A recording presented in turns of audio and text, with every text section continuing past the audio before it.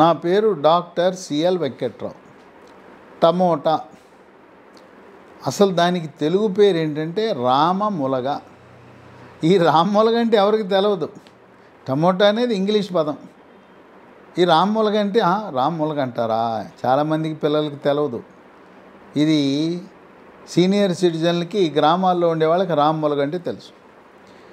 ఈ టమోటాని శాండ్విచ్గా సాలడ్ కూర పచ్చడి సాంబారు రసం రోటి పచ్చడి నిలవ పచ్చడి శాకాహారులు మాంసాహారులు జ్యూస్ కింద సాస్ కింద ఒకటేంటి? ఏది చూసినా ప్రతిరోజు ప్రతి ఇంట్లోనే కాకుండా రెస్టారెంట్లు శాకాహారము మాంసాహారం అన్నిట్లో వాడేది ఈ టమాటా. దీంట్లో vitamin A vitamin C magnesium phosphorus copper calcium vitamin K lycopene అనే యాంటీ ఆక్సిడెంట్లు ఉంటాయి.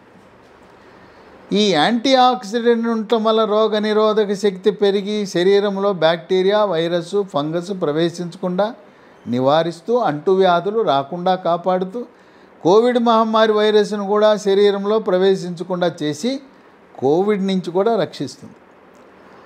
రక్తంలో చెడు cholesterol bad cholesterol LDL cholesterol యొక్క పరిమాణాన్ని తగ్గించి హార్ట్ అటాకు గుండెపోటు రాకుండా నివారిస్తూ పక్షవాతం కూడా రాకుండా చేస్తుంది. కొంతమందికి వృద్ధాప్యం రాకుండానే వృద్ధాప్య ఛాయలు వస్తాయి. ముఖం మీద ముడతలు పడిపోతాయి చర్మం మీద ముడతలు పడిపోతాయి. చిన్న వయసులోనే ముసలితనం ఆవహిస్తుంది. టమోటాలు తింటే ఈ ముసలితనము వృద్ధాప్య ఛాయలు దరి చేరకుండా కాపాడుతుంది.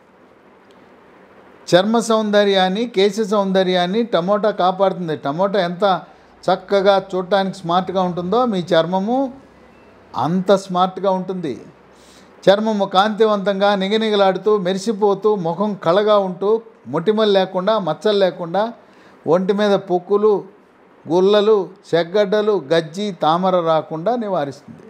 వెంట్రుకలు నల్లగా ఒత్తుగా పొడుగ్గా ఉంటాయి.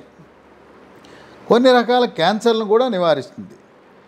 మగవారికి మూత్రకోశం నుండే ప్రోస్టేట్ గ్రంథి క్యాన్సర్ని నోట్లో సిగరెట్టు బీడీ చుట్టా గుట్కా పాన్ పరాగ్ నస్యము జరదా పొగాకు ఉత్పత్తులు వాడటం వల్ల వచ్చే నోటి క్యాన్సర్ని నివారిస్తుంది జీర్ణాశయం క్యాన్సర్ను కూడా నివారిస్తుంది. షుగరు మధుమేహ వ్యాధి డయాబెటీస్ ఉన్న వాళ్ళకు కూడా మేలు జరుగుతుంది. చక్కెర నియంత్రణ బాగా జరుగుతుంది. భారీ కాయము స్థూలకాయం ఉన్నవారు టమాటా తింటే బరువు తగ్గుతారు.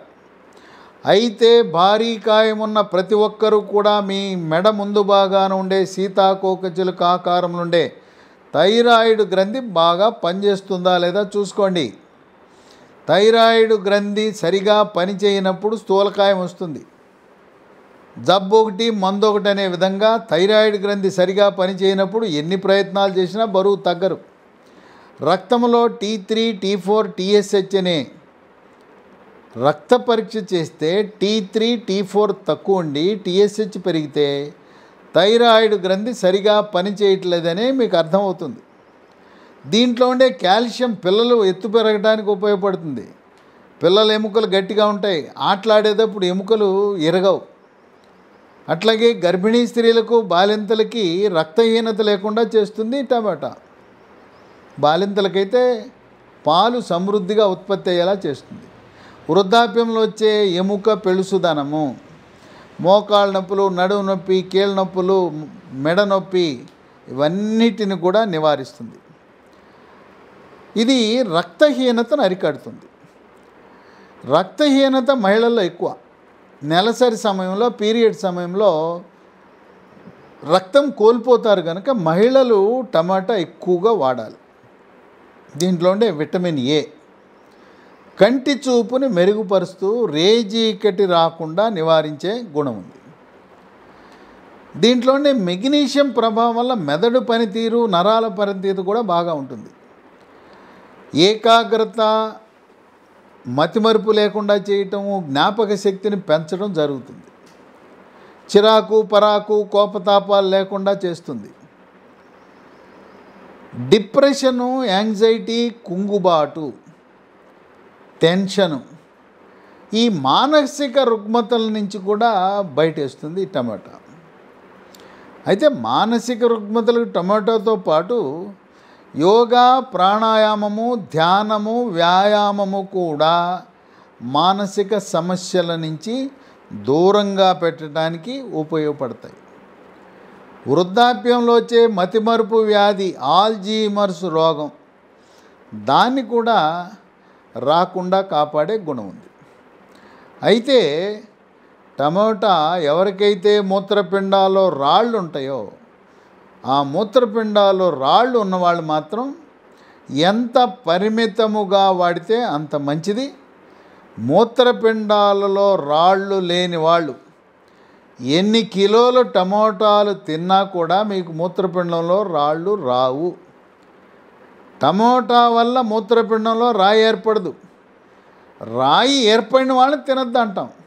అంతేగాని టమోటా తింటే మూత్రపిండంలో రాయి వస్తారని మాత్రం ఆ ప్రచారాన్ని నమ్మద్దు. రాళ్ళు ఉన్నాయి కనుక ఎప్పుడో తింటే ఏం కాదు. రోజువారీగా తినద్దు. టమోటాని ప్రతిరోజు ఉదయము మధ్యాహ్నము రాత్రి టిఫిను భోజనంతో పాటు సాలడ్లో. కీరా దోసకాయ క్యారెట్ టమాటా ఉల్లిపాయ నాలుగు కోసి పచ్చివాటి మీద కొంచెం నిమ్మరసము మిరియాల పొడి చల్లుకుని తింటే ఆరోగ్యం మీ సొంతం.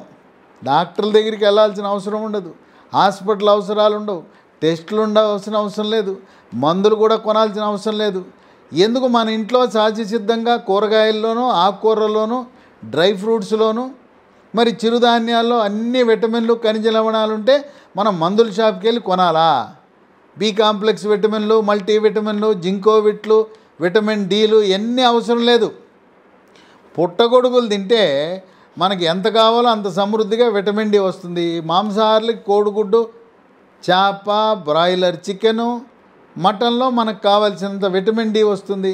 కనుక మందుల షాప్కి వెళ్ళి విటమిన్లు ఖనిజ లవణాలు కొనుక్కొచ్చే బదులు ఏ టు జెడ్ గొట్టాలని మల్టీ విటమిన్లు ఎన్ని అవసరం లేదు.